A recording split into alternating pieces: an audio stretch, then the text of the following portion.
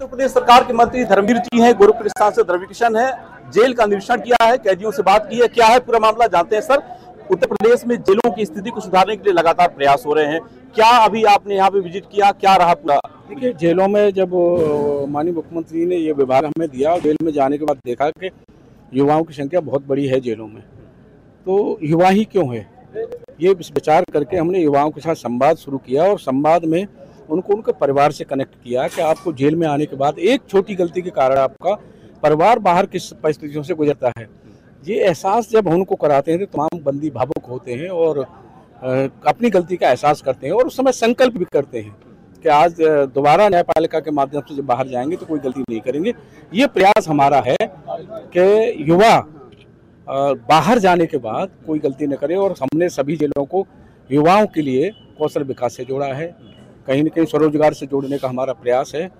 इसमें ही हम निरंतर लगे माननीय मुख्यमंत्री जी की प्रेरणा से। सर तमाम ऐसे जेल हैं जहाँ पे कैदियों की संख्या अधिक है। जेलों में सुविधाएँ अभी बहुत कम है। इसको लेकर के सरकार क्या काम ये बात निश्चित है कि सही है आपकी, क्योंकि जेलें हमारी बहुत समय, बहुत सी जेलें तो जेल आज़ादी से पहले की बनी है, फिर आज़ादी के समय की बनी है।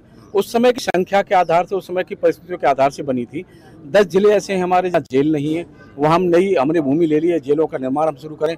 कुशीनगर में निर्माण शुरू होने जा रहा है, हाथरस में शुरुआत होने जा रहा है। जहाँ जेलों में जगह है, वहाँ बैरकें बना रहे है।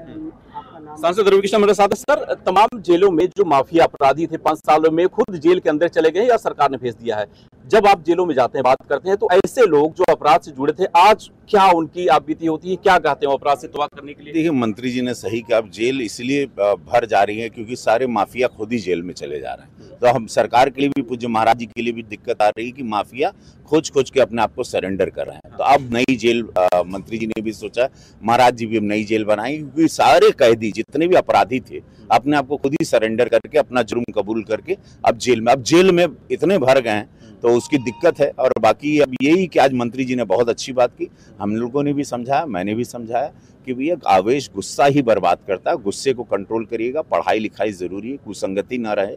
परिवार का सोचिए, क्योंकि आप तो जेल जाते हैं, पूरा परिवार जेल में रहता है। इन्होंने बहुत अच्छी बात कही आप तो यहाँ, आप लोग मुफ़्त की रोटी आप लोगों को मिलती है, जो भी है, कुछ करना, लेकिन आपका परिवार समाज से पूरा बर्बाद हो जाता है। समाज उनको कैदी बना देता है। तो ये बहुत अच्छी आज बात आपसे मिली और बहुत अच्छी एक सीख भी हमको भी एक एक माइंड के लिए बहुत अच्छा एक थॉट मिला।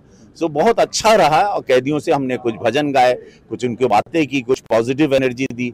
मंत्री जी ने कुछ कठोर भी बातें की जिससे उन लोगों का एक झंझोड़ा उनकी आत्माओं को हमने उस पर थोड़ा सा मरहम पट्टी लगाई।